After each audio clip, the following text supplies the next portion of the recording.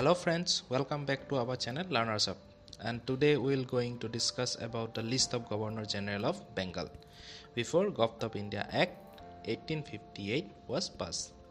If you didn't watch the previous videos, please go through this for better understanding.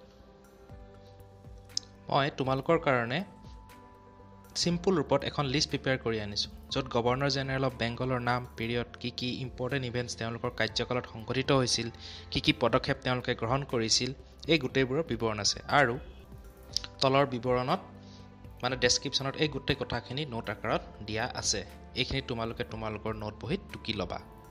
So' let start first governor general of Bengal আছিল Warren Hastings he founded Asiatic Society of Bengal established civil and criminal code and also established madrasa for islamic study next is sir john macpherson he just hold a post on temporary basis so he is not so important then lord cornwallis who is the one of the famous governor general of bengal who introduced zamindari system in india zamindari system আৰম্ভ কৰিছিল কৃষকৰ পৰা land revenue কালেকশ্যনৰ কাৰণে east India কোম্পানীয়ে জামিনদাৰী ছিষ্টেমৰ মাধ্যমেৰে জামিনদাৰসকলক কৃষকৰ পৰা tax কালেকশ্যনৰ কাৰণে টেণ্ডাৰ ইছ্যু কৰিছিল।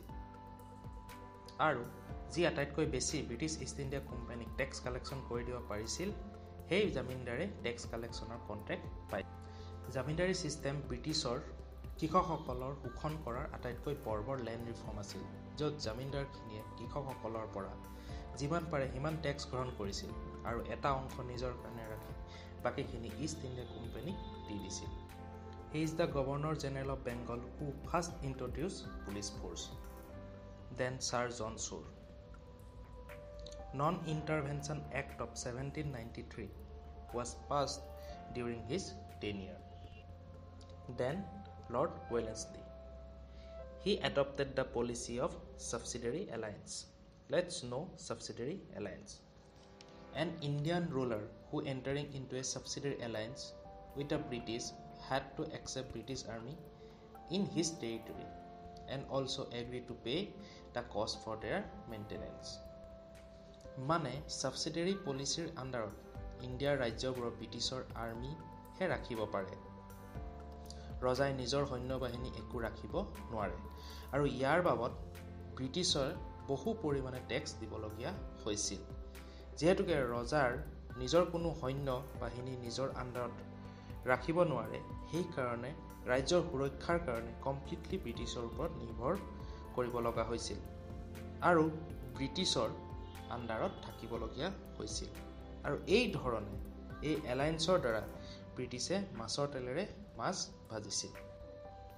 আজিৰ যুগৰ civil service I A S I P S এই চাকৰিবোৰৰ আৰম্ভণি এওঁৱে কৰিছিল। আৰু সেইকাৰণে তেওঁক father of civil service of India বুলিও কোৱা যায়।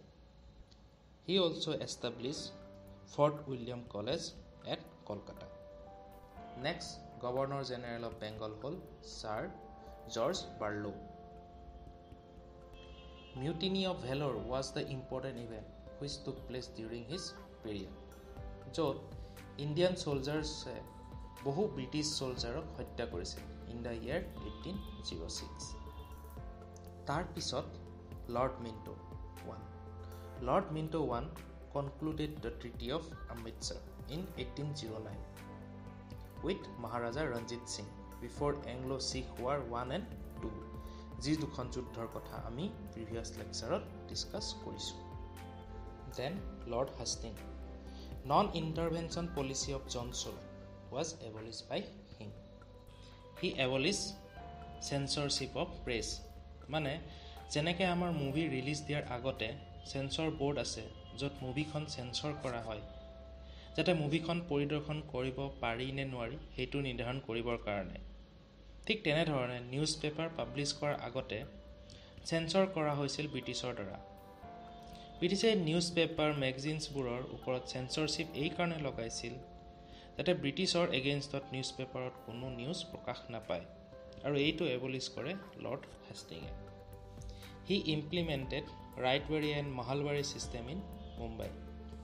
এই দুই প্ৰথা লেণ্ড ৰেভিনিউ কালেকশ্যনৰ লগত জড়িত। ব্ৰিটিছে তিনিটা মেথড ইউজ কৰিছিল জামিনদাৰী ৰাইটৱাৰী এণ্ড মহালৱাৰী আমি জামিনদাৰী মেথডটো অলৰেডি ডিছকাছ কৰিলোঁ।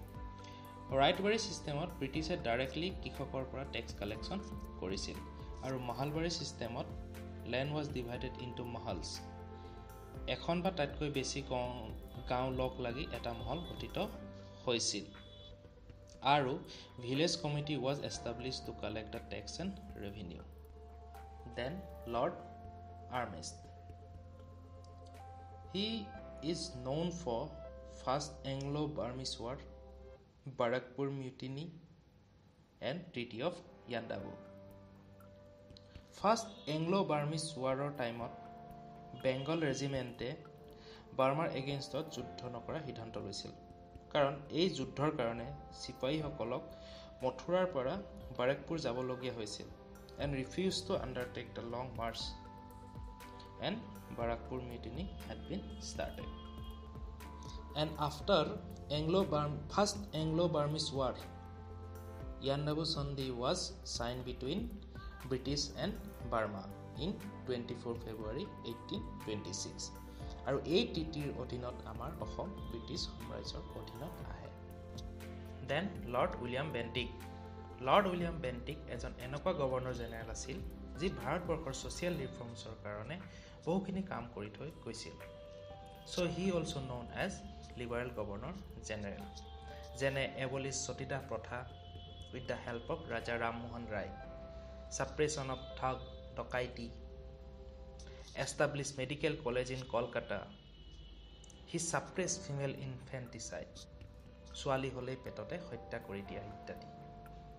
Then sir Charles Metcalfe he held the post temporarily আৰু তেওঁ ভাৰ্নিকুলাৰ প্ৰেষ্ট এক্টৰ ৰেষ্ট্ৰিকশ্যনবোৰ ৰিমুভ কৰিছিল। দেন লৰ্ড অকলেণ্ড এওঁৰ টাইমত ফাৰ্ষ্ট আফগান ৱাৰ সংগঠিত হৈছিল। Then lord Dalhousie lord Dell হাউচিৰ লগত বহুখিনি ইম্পৰ্টেণ্ট ইভেণ্ট জড়িত হৈ আছে। যেনে তেওঁ ভাৰতবৰ্ষৰ প্ৰথম railway telegraph postal system establish কৰে। Many bridges were constructed and started Great Trunk Road মানে ৰাস্তাৰ পৰা আৰম্ভ কৰি দলং ট্ৰেইন লাইন বহোৱালৈকে তেওঁৰ অৱদান আছে। বিধৱাসকলৰ পুনৰ বিয়াৰ কাৰণে widow' marriage bill was pass by him. He introduce doctrine of lapse মানে যদি ব্ৰিটিছ ডিপেণ্ডেণ্ট ষ্টেটৰ ৰজা বা ৰাণী ৰুলাৰে মৃত্যুবৰণ কৰে আৰু তেওঁৰ যদি কোনো উত্তৰাধিকাৰী নাথাকে তেনেহ'লে ৰাজ্যখন ব্ৰিটিছৰ আণ্ডাৰত অট'মেটিকেলি আহি যাব। এই ডক্ট্ৰেইন অফ লেবছৰ কাৰণে কি ৰাণী লক্ষ্মীবায়ে ব্ৰিটিছৰ এগেইনষ্টত যুদ্ধ ঘোষণা কৰিছিল। চ' এইখিনিতে আমাৰ এই ভিডিঅ' লেকচাৰটোৰ সমাপ্ত হ'ল। নেক্সট লেচনত আমি গভৰ্ণৰ জেনেৰেল অফ ইণ্ডিয়া বা ভাইচ ৰয়সকলৰ ওপৰত ডিছকাছ কৰিম। Thank you guys. Keep watching Learners Up and don't forget to like and share our videos. Thank you once again. Bye bye.